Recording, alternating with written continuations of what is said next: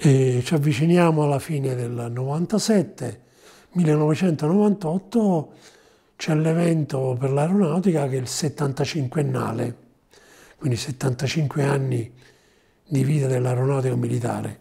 L'anno appena trascorso, il 1923, come tutti sanno gli amanti e chi segue l'aeronautica, era il centenario. Il 75ennale bisognava festeggiarlo quasi come si è festeggiato adesso il centenario, era qualcosa di una tappa importante di questa organizzazione. E per la prima volta lo SMA, lo Stato Maggiore Aeronautica, decide di, fare, di concentrare alcune manifestazioni di farne una sola all'anno in un aeroporto ogni anno diverso. E si comincia proprio nel 75ennale e si decide pratica di mare. Quindi al vicecomandante di regione era il generale Podrini. Viene dato l'incarico di responsabili di tutto questo circo che bisognava mettere su. Ovviamente anche qui a seconda delle persone che vengono interessate poi sta a loro quanto profondamente incidere sull'evento. Il direttore invece, l'incarico viene assegnato al colonnello Miniscalco, ex pattuglia acrobatica, e il capo di Stato Maggiore scelse me da affiancare a Miniscalco per dare una mano, quindi diventai il suo braccio destro. Cominciarono le riunioni a Pratica di Mare già intorno a settembre-ottobre del 97. L'evento era stato pianificato per domenica 24 maggio. Mm. La domenica c'era la, la manifestazione ufficiale, il 23 come era uso veniva fatto una, una prova che era lo stesso identico programma della domenica per quanto riguardava velivoli da esibire, pattuglie acrobatiche e quant'altro. Facciamo questa prima riunione a Pratica di Mare, c'erano presenti qualcosa come una trentina di persone, ovviamente oltre ai vari rappresentanti AM c'erano i rappresentanti dei trasporti, i rappresentanti di Civilavia, i responsabili di Fiumicino, perché venne individuato subito che il problema principale di pratica di mare era la vicinanza di Fiumicino.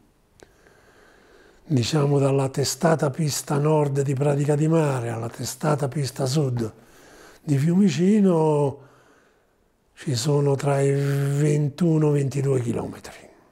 E quindi il problema del traffico aereo venne subito evidenziato come il punto interrogativo dice su tutto possiamo eh, transitare o passarci sopra, il problema è Fiumicino e Fiumicino divenne uno scoglio. La prima riunione non tiriamo fuori un, dice, un ragno dal buco, ecco, tre ore, quattro ore a dissertare sui pericoli, i rischi e quant'altro. E rimandammo questa riunione, fu aggiornata la riunione non a breve tempo perché il problema era talmente grosso che venne dato ad ognuno il tempo per eh, assorbire questo problema, pensarci su e digerirlo e presentarsi con soluzioni.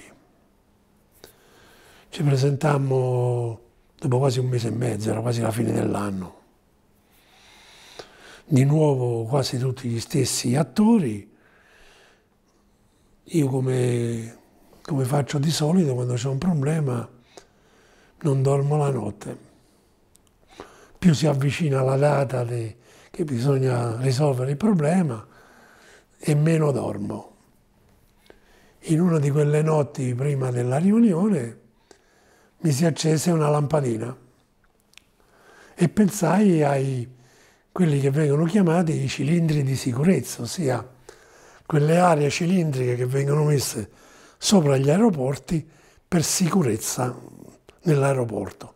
La sicurezza normalmente si pensa a un aeroporto in zona di guerra, dove ci può essere un attacco da terra agli aeroplani che decollano o atterrano. Quindi si crea un cilindro, un cerchio sopra l'aeroporto di sicurezza dove si cerca di tenere quel territorio bonificato. Così quel cilindro. Mi metto con la carta geografica, faccio le varie cose e studio un cilindro sopra Fiumicino, un cilindro sopra Pratica di Mare. Questi due cilindri li distanzio di quasi due miglia. Sulla carta geografica era semplice, nel corridoio delle due miglia tra i due cilindri c'era la Cristoforo Colombo, la via che taglia, parte dall'Eur e arriva a mare.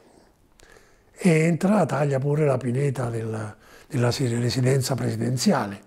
A nord di Pratica di Mare c'è tutta una zona boschiva verde, c'è questa strada, poi c'è, non mi ricordo, l'infernetto, un agglomerato di case che all'epoca non era come oggi molto popolare, era molto di meno, e quindi si, era un punto che poteva evidenziarsi sia guardando a terra, sia con semplice tacan per vedere queste, queste poche miglia di distanza dall'aeroporto. Non, non, veniva fuori nessuna soluzione, tiro su il ditino dal punto di vista del peso in quella riunione ero insignificante perché ero il vice del vice come aeronautica militare. Chi aveva la voce grossa era Civilavia e il direttore di Fiumicino. Non dico niente né a Miniscalco né a Podrini, tiro su la mano e espongo, vado a una lavagna che stava lì, quattro linee, due cerchi, io briefingo, faccio un briefing ai miei piloti, voi briefingate tutti gli aeroplani in arrivo e in partenza e questa può essere l'attività. Di tutta la pianificazione del, che avevamo in programma si evidenziano solo due momenti pericolosi. Uno era la pattuglia di 9 F-104, che il programma prevedeva decollo da Grazzanise, passaggio informazione su pratica di mare, trasformazione a bastone, apertura, atterraggio con grosseto alternato.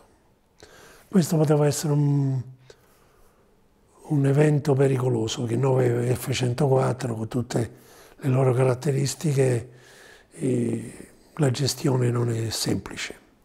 L'altro evento pericoloso, o gli altri due o tre eventi pericolosi erano le primizie come velivoli che si esibivano. C'era un MiG-29 finlandese, ah, ci doveva essere, poi è arrivato, e c'era un altro aeroplano polacco, se non vado errato. Sempre un MiG, era un MiG-21. Questi erano i momenti che dal punto di vista manifestazione aerea non vedevamo. Gli altri erano pattuglie acrobatiche o velivoli solisti, ma o italiani o europei, gente che era avvezza a quelle attività e soprattutto non avevano problemi di comunicazione. Si sente un mormorio nella sala, dopodiché eh, incominciano qualche domanda, se succede questo io subito facciamo questo, qualcuno esce, se succede qualcosa in 104, e tu subito non hanno molto carburante, quindi l'aeroporto è grosseto, ci inventiamo un corridoio, mi inventai un corridoio. Io immediatamente darò una prua e una quota ai velivoli e venne fuori 300 in prua, che significava stare sempre sul mare, 190 di livello. Designai questo, eh, questo corridoio sulla lavagna. I controllori di Fiumicino si guardarono un po' tra di loro e qui intervenne il capo TLC di Pratica di Mare, il maggiore Massimo Casadio, ragazzo sveglio che avevo conosciuto, non, e immediatamente lui sposò la cosa e suggerì il telefono rosso tra la torre di Pratica di Mare e la torre di Fiumicino. Quindi un telefono diretto, al minimo problema si tira sul telefono, c'è da fare numero, c'è da fare niente, poche parole e si dice quello che sta succedendo. E questo come una, una bacchetta magica sbloccò immediatamente la riunione. La sbloccò da una parte la, e bloccò me dall'altra. Perché visto l'esito della riunione, sia il generale Podrini che il, colon, che il colonnello Miniscalco mi dissero, Lista, allora da questo momento ti occupi, ti occupi tu della parte aerea, noi ci occuperemo delle altre parti che erano poco niente. Quindi diplomazia da una parte, programmi dall'altra in generale. Questo mi costò stare in torre di controllo sia il sabato che la domenica, in pratica non dico dall'alba al tramonto, ma quasi. Divenne uno degli uomini di torre, un dipendente del maggiore Casadio, e lui disse no, tu qui sei il padrone. E mi diedero uno scanno alto dietro ai 3-4 controllori di torre. La torre di controllo di Pratica di Mare è una torre di controllo tradizionale, è messa di lato alla pista, tutta vetri, davanti c'è la pista di volo, quindi massima visibilità. Dietro la vetrata c'è uno spazio di un metro, un metro e mezzo il bancone dei controllori e io stavo dietro. E ci furono delle scenette comiche, tipo ci venne a trovare il generale Podrini, che un tipo, era un tipo alla tedesca, tutto bello, sempre in tiro, con lo sto bastone che andava dal a fondo schiena alla testa, e aveva l'abitudine di mettersi vicino alla vetrata quindi davanti ai controllori di torre e davanti a me. Stavo lì e si guardava lo, lo scenario, aeroplani che decollavano, atterravano, quant'altro. E dal punto di vista educazionale nessuno dei controllori, tenenti o sottufficiali dicevano niente al generale Podrini. Quando mi sono accorto gli ho fatto scusi generale, o diventa trasparente o si toglie dai coglioni. Lui si fece una risata e si tolse, sempre camminando in modo rigido. Come, come dice quel vecchio detto, come ho detto l'altra volta, il diavolo, le pentole e quant'altro, sabato 23 maggio comincia la manifestazione aerea, in aeroporto c'erano già qualcosa come 10.000 persone, perché il sabato veniva aperto al personale militare che voleva vedere la, la manifestazione, così non sarebbero venuti la domenica. l'esibizione riguardava soltanto le pattuglie e i velivoli solisti, l'unica variante il sabato non c'erano i velivoli che andavano e venivano per trasporto personale, spettatori e quant'altro.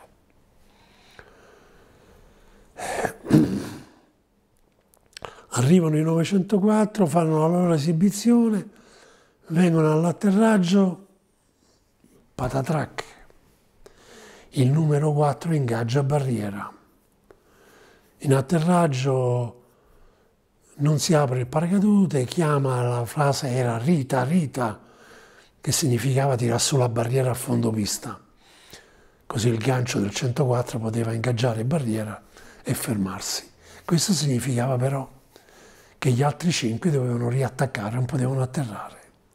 E quindi immediatamente mi attacco al telefono, pratica 5F104 in salita 190 300 in prua. E questi nel frattempo avevano ricevuto pure loro la stessa indicazione, sti 504 sorvolano la pista, accostano verso il mare, prova 1300, 119.000 piedi di altezza e diretti a, a Grosseto e sono arrivati tutti a Grosseto col minimo carburante. E quindi quello che avevamo immaginato il sabato si è verificato. E questo fu un bel inizio perché ci avevamo, ci avevamo tutti visto bene e lungo. La domenica, sotto questo aspetto, i 904 filarono tutto liscio, l'esibizione fu fantastica, non ci furono grossi problemi se non eh, conflittualità di traffico tra velivolo da trasporto che arrivavano a Pratica di Mare e qualcuno che si esibiva. L'unico problema me lo diede l'elicottero del 31esimo, c'aveva a bordo il ministro della difesa, chiamò per venire all'atterraggio, ma siccome era in ritardo, eh, mentre lui arrivava si stava esibendo il MiG-29 finlandese. Che facciamo e non facciamo? Semplice. Nessuno voleva fermare, fermare un super VIP